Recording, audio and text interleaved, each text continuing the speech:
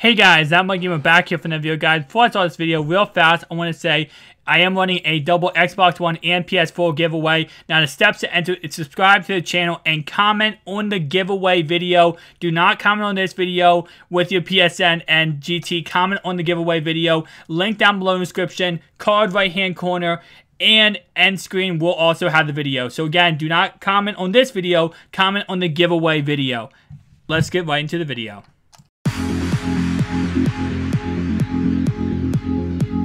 Hey guys, that MUT Gamer back here for another video. Welcome back, guys.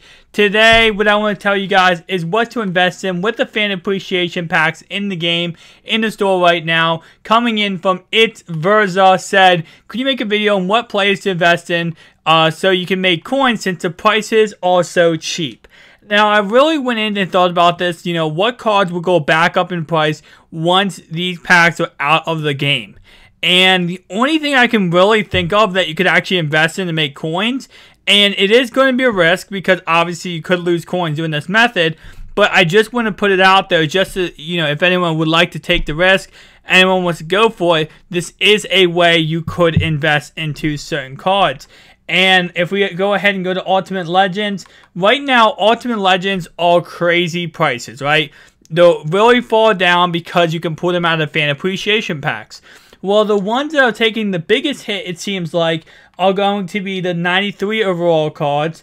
Oh, what? Sorry, not 93 overall for this card, but let's actually go a little bit farther back, a little bit down here. Here we go. So let's go get into these players. Of course, higher up, the ones that just came out aren't really that low. But these 93 overall cards are taking a huge dip in price. Right now, it's 24k. Now, based on, I can actually check on how much these players are normally going for, but based on um, the fact that fan appreciation, these cards are really normally pulled. Like Donovan McNabb, for example, this Donovan Mac, I pulled him like six times. He's going for 10k. He doesn't go for 10k normally. Like when fan appreciation packs are not in the game, he doesn't go for 10k. But right now he's going for 10k because of the fact that fan appreciation packs are in the game, which makes his price really dip down low. Which every if, if I actually go ahead and look at what his price was before fan appreciation packs, they were anywhere from 40 to 50k. Um, on July 1st, three days ago, his his call was 50k.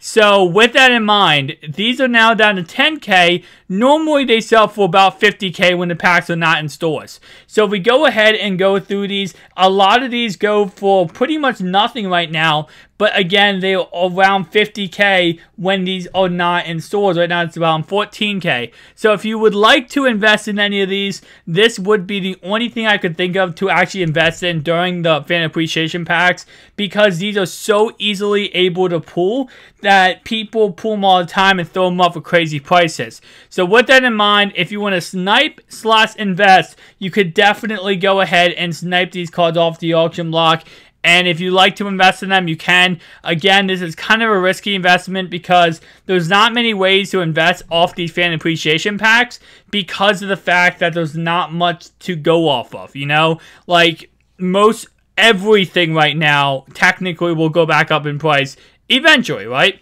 But these, I feel like, will have the best chance to go up in price. So that's pretty much it, guys. Thanks so much for watching. If you enjoyed this video, make sure to like button, subscribe, to channel if you're new. I'll see you guys in the next one. Peace out.